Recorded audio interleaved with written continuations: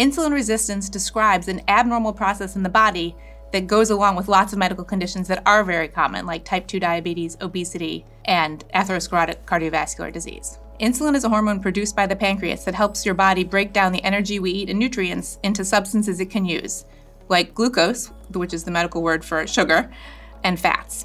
In states of insulin resistance, the body is not responding normally to levels of insulin that are being produced. And as a result, we see lots of abnormalities. The most common one we see is slightly elevated glucose. Glucose won't always be elevated, but if the body isn't making enough insulin to keep up with insulin resistance, then it certainly can be very elevated and lead to type 2 diabetes. Lots and lots of different things can cause insulin resistance. But when we commonly talk about insulin resistance occurring, it's usually because people are carrying extra weight, and that extra weight ends up getting stored in places it shouldn't be, like liver and other tissues. And that extra fat sitting in the liver then interferes with the body's ability to respond appropriately to insulin.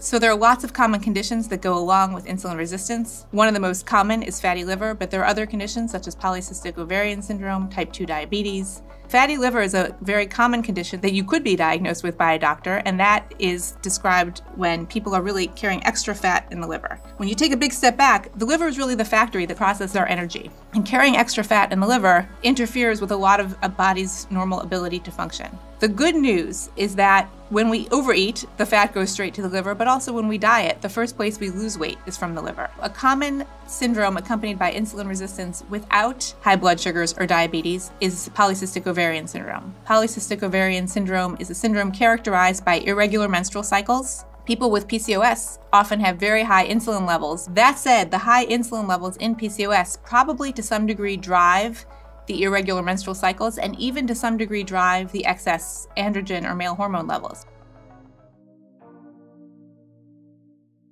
People often say insulin resistance causes type 2 diabetes, and I want to point out that that's not true unless the pancreas is not making enough insulin to keep up with the body's demand. So there are many, many people who have insulin resistance, who are overweight with fatty liver, um, who don't have type 2 diabetes because their pancreas just produces more and more and more insulin and keeps up to a large degree with the body's demand.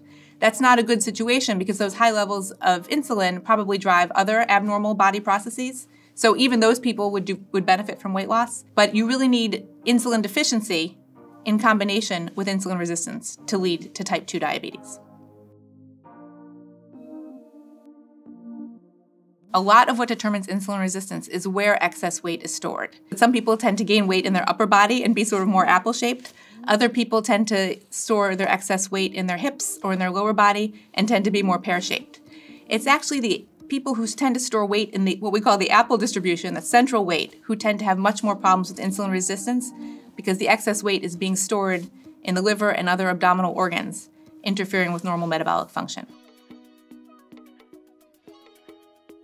So the best treatments for insulin resistance are also the best treatments for being overweight or having obesity, and also the best ways to just stay healthy overall. Losing a modest amount of weight actually is very beneficial for insulin resistance, and the best way to achieve weight loss is through diet and exercise. While many people give up on diet and exercise, in fact, relatively simple steps like eliminating sugary beverages, including juices, having portion controlled meals um, that are balanced with a, a mixture of carbohydrates, protein, and fruits and vegetables, particularly the healthy carbohydrates, um, are very beneficial for insulin resistance. And actually, just exercising reduces insulin resistance even in the absence of weight loss. A lot of people feel it's very overwhelming to start an exercise program, but actually, simple steps like walking 30 minutes over the course of the day, even in th three separate bouts of 10 minute exercise, things as simple as parking the car farther away, taking the stairs, these things really make a difference over time and help reduce insulin resistance. So people often wonder, should I take a medicine to treat insulin resistance? Well, insulin resistance isn't really